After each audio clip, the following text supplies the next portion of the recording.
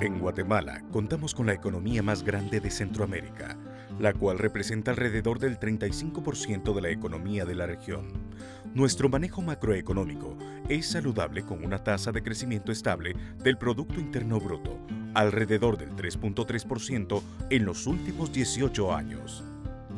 Sin embargo, enfrentamos grandes retos, tales como altos índices de pobreza, gestión pública debilitada, brechas en el acceso a servicios básicos e infraestructura, alta informalidad en el mercado laboral, falta de transparencia y altos índices de corrupción. Para combatir estos retos, debemos aumentar el crecimiento económico e implementar políticas de desarrollo integral que mejoren la inversión pública y nos permitan alcanzar nuestros objetivos de desarrollo. Impulsar nuestro crecimiento dependerá de reformas continuas para aumentar tanto la inversión privada como la movilización de ingresos. Esto con el objetivo de financiar inversiones en infraestructura y capital humano que fomenten nuestro crecimiento.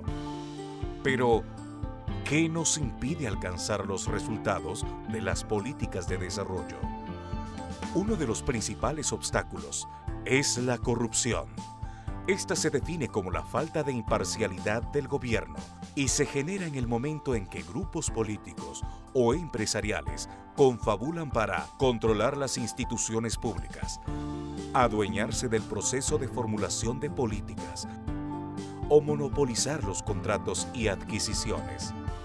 Por otra parte, un sistema jurídico con principios y planteamientos ambiguos impacta negativamente en nuestros niveles de certeza jurídica, generando incertidumbre en nuestros ciudadanos e inversionistas sobre el cumplimiento de las leyes.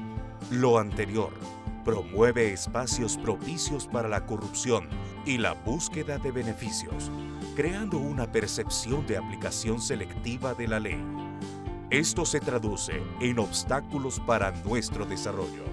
A pesar de estos grandes retos, en Guatemala tenemos amplias oportunidades de crecimiento si enfocamos nuestros esfuerzos en acciones como el impulso a la economía formal, el Plan Alianza para la Prosperidad y la cooperación interinstitucional como la que realiza CICIG y Ministerio Público, impulsando el desarrollo del capital humano la dinamización del sector productivo y el fortalecimiento institucional, en Guatemala podemos generar un clima de inversión atractivo que permita nuestro crecimiento económico a través de la generación de empleo.